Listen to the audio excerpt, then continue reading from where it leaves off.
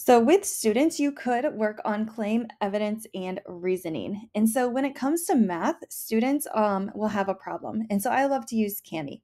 So, I click this Kami button and it opens up like this. Now, this is an example kind of from start to finish.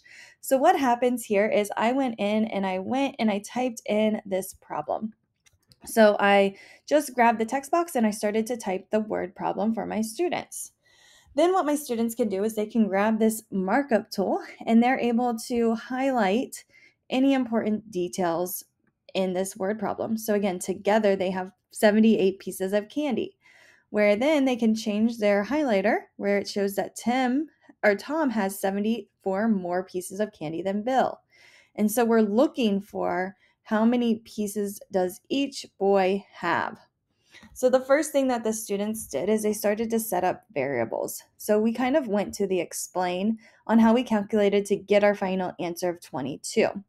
Students were able to work out the problem and really start to explain um, Bill equals X, Tom equals X plus 34, and you can kind of see where all of this information is coming from.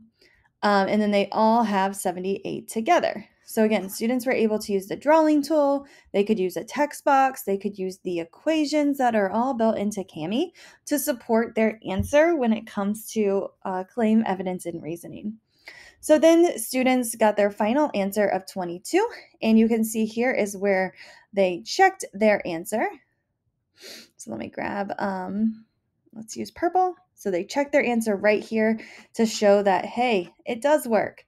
And so then they wrote their claim. So Bill has 22 pieces of candy and Tom has 56.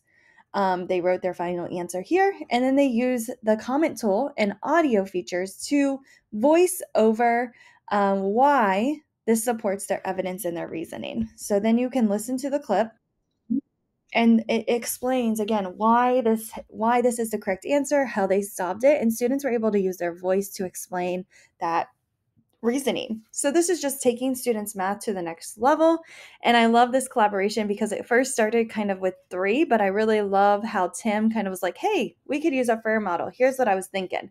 Um, and i love his version and i just like how this activity is set up where students are able to work you know either individually or collaboratively with a partner to really start to build those math skills where they are using CER to explain their learning.